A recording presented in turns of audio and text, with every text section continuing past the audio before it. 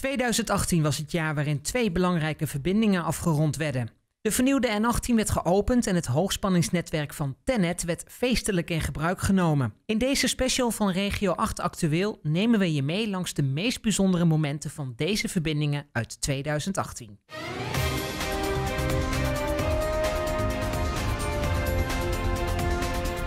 Dit is Regio 8. Met dagelijks de actualiteiten uit de Achterhoek en de Liemers. Regio 8. In februari werd het eerste viaduct over de vernieuwde N18 feestelijk geopend.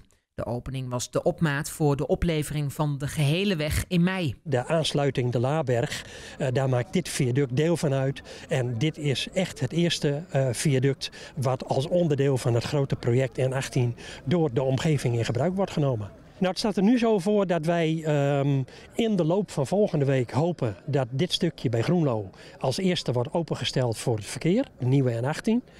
En dan sluit die bij Eibergen wel weer aan op het bestaande N18. En het stuk erna, richting Enschede. Ja, dat vraagt nog wel een aantal maanden. Uh, we weten nog niet precies, want ja, je weet nooit wat het weer doet uh, in deze tijd van het jaar. Sneeuw, vorst of regen. Maar voor de uh, zomer is eigenlijk die hele nieuwe N18 met alle wegen eromheen van de gemeenten. Ja, dat is dan wel klaar. we hopen ergens in mei dat de nieuwe N18 echt opengesteld kan worden en dat verkeer er dan ook ja, over de volle lengte gebruik van kan maken. In maart kon ook bij de aanleg van het hoogspanningsnetwerk een klein feestje gevierd worden. De stroomverbinding ging de Nederlands-Duitse grens over.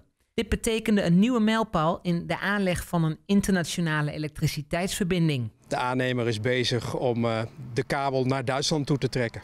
En hoe verbinden jullie eigenlijk die beide kanten met elkaar? Dat gebeurt door de kabel over de grens te trekken naar de eerste Duitse mast, wat je hier ziet. En uh, dan kunnen, kunnen in Duitsland uh, kan dan Amprion uh, de lijn verder doortrekken naar Wezel toe. In februari is bij de aanleg van de nieuwe N18 ook weer een mijlpaal bereikt. Vlak na de opening van het nieuwe viaduct werden de eerste kilometers aan nieuw asfalt van de vernieuwde N18 geopend. Een bijzonder moment voor de wethouders van de betrokken gemeenten Ooschelre en Berkeland. Is deze vooropenstelling dan al een soort van climax? Ja, nou, uh, vorige week hadden we een open, uh, openstelling van uh, de afslag de Laanberg hier. En nu de eerste vier kilometer. Na ik weet niet hoeveel jaren aan voorbereidend werk. Dat is wel een heel bijzonder moment, inderdaad. Terug naar de aanleg van het hoogspanningsnetwerk. Want na ruim twee jaar van werkzaamheden en procedures tot aan de Raad van State werd in september het project voorlopig voltooid. Met het koppelen van twee stekkers werd de verbinding tussen Doetinchem en het Duitse Wezel officieel in gebruik genomen. De meerwaarde voor de Achterhoek zit hem eigenlijk niet zozeer in de internationale verbinding, maar zit hem wel in de regionale verbinding. Want tegelijkertijd met deze Doetinchem-Wezel-verbinding hebben we ook het 150 kilovolt netwerk behoorlijk aangepast. Hoogspanningsstation is uitgebreid. Er zijn kabels op, op van het regionaal net onder de grond gegaan. Er zijn er meegehangen in de, in de nieuwe verbinding, waardoor we ook weer masten hebben kunnen slopen. Dus in die zin heeft het ook zeker betekenis voor de Achterhoek. En ook de N18 kon feestelijk in gebruik worden genomen. In mei was het zover. Dat gebeurde eerst voor fietsers en wandelaars die de nieuwe weg mochten uitproberen. We dachten weer of geen weer. We hebben er vrij voor genomen, dus we gaan even een, een rondje maken. Met de kinderen allemaal mee. De buurkinderen en de buurvrouw dus. Hoe bevalt de nieuwe N18 op skilers? Ja, wel goed. Ja, het is uh, leuk. Ik ben van Neder naar Haaksbergen hard gaan lopen. Dat was 9 kilometer. En weer terug. Dus totaal uh, 18 kilometer.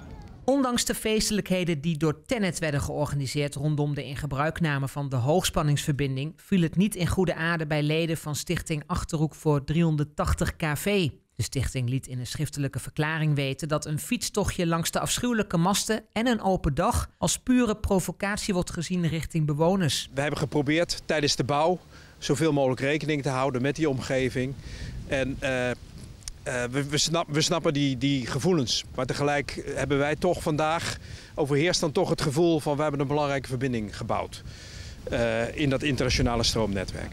Dan weer terug naar de feestvreugde op de N18. Want nadat fietsers en wandelaars over de nieuwe N18 hebben gelopen, was het de dag erop de beurt aan het grotere verkeer dat gebruik mocht maken van de nieuwe weg. Nou, dit is echt een feestelijk moment, zowel voor de achterhoek als voor Twente. De verbinding is weer geoptimaliseerd. Zeker nog niet uh, helemaal optimaal, maar we zijn in een heel goed, een heel stuk in de goede richting. Een betere bereikbaarheid is heel erg goed uh, voor de regio Achterhoek. Uh, er zijn hier veel bedrijven. Het is een uh, slimme en innovatieve regio. En die hebben er heel veel belang bij dat de regio beter bereikbaar is. En ook de stroomverbinding is van groot belang voor de regio. Voor Tennet rest nog de uitwerking van het landschapsplan dat binnen vijf jaar moet worden uitgevoerd. Bij de plannen voor de nieuwe verbinding is er ook een landschapsplan uh, uh, vastgesteld. En Tennet heeft de verplichting uh, om binnen vijf jaar na de ingebruikname, nou dat zijn we nu hè, uh, dat landschapsplan te hebben uitgevoerd. Dus dat betekent dat alle maatregelen, en dat is toch ook weer voor een paar miljoen aan maatregelen, wat er in de Achterhoek uh, aan, aan, aan, bomen wordt geplant en verschillende andere struiken en dergelijke, dat die binnen vijf jaar, dus 2023, moet dat gerealiseerd zijn. De komende vijf jaar wordt dit landschapsplan in de Achterhoek nog verder uitgewerkt door Tennet. En nu de nieuwe N18 klaar is, moet de oude weg nog worden afgewaardeerd. De komende tijd worden er plannen gemaakt voor de herinrichting van deze weg.